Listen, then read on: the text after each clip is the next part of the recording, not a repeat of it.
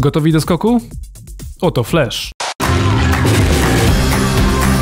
Jakiś czas temu Kai Rosenkratz, kompozytor muzyki do Gotika i Rizena, zorganizował streamy na Twitchu z obecnymi pracownikami Pirania Bytes, Bjornem i Jenny Pankratz, gdzie padło wiele ciekawych informacji na temat planów dewelopera. Studio planuje rozwijać Alexa, dodając do niego m.in. tryb opowieści, który pozwoli pominąć krytykowany przez wielu aspekt walki. W planach jest także kontynuacja, czyli Alex 2. Pirania podejmuje też pierwsze przymiarki do Gotika 4. Powstały podobno pierwsze wstępne materiały dotyczące gry. Uzbrójmy się więc w cierpliwość i czekajmy.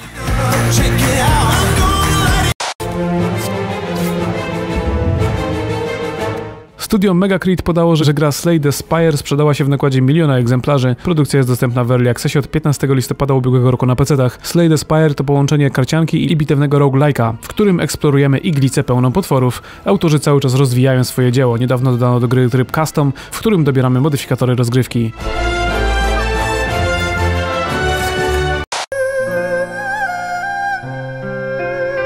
Studio ISNET podało wymagania sprzętowe gry Shenmue 3, która powstaje od kilku lat dzięki wsparciu fanów. Do uruchomienia następnej części kultowej sagi nie będzie wymagany zbyt potężny komputer. Wystarczy GeForce GTX 650 Ti, 4 GB RAMu oraz procesor quad-core. Gra ma wymagać także 100 GB przestrzeni dyskowej. Premiera nastąpi najwyraźniej dopiero w przyszłym roku.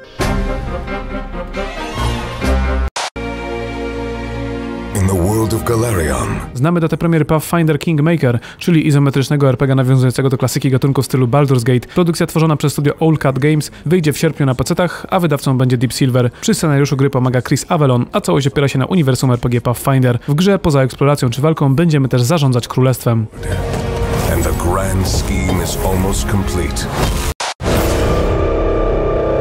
Czas na mały kącik plotek. Po pierwsze studio Turtle Rock, znane z serii Left 4 Dead czy Evolve, szuka pracowników, którzy dołączą do zespołu pracującego nad znaną światową marką. Wymagane doświadczenie sugeruje, że mamy do czynienia ze strzelanką sieciową, rywalizacyjną strzelanką sieciową. Firma Rad Game Tools umieściła na stronie swojego flagowego produktu, czyli formatu wideo Bing, wzmiankę na temat nowej sekretnej platformy objętej klauzulą poufności. PlayStation 5, Xbox One XY, UJA 2. Tego niestety nie wiemy.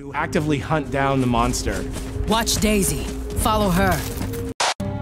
Husbands and wives, doctors and teachers, writers and architects. Studio Overkill podało niedawno wymagania sprzętowe swojej gry The Walking Dead oraz skomentowało kilka kwestii, odpowiadając na pytania fanów. Przede wszystkim gra jest projektowana pod kooperację, ale będzie pozwalała na grę w pojedynkę. Poziom trudności ma zostać dynamicznie dostosowany. W grze nie pojawią się lootboxy, bo nie pasują do klimatu. W zamian całość będzie rozwijana płatnymi i darmowymi DLC.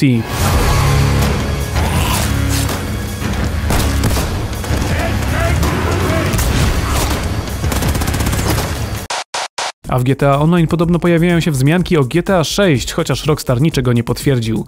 Pa.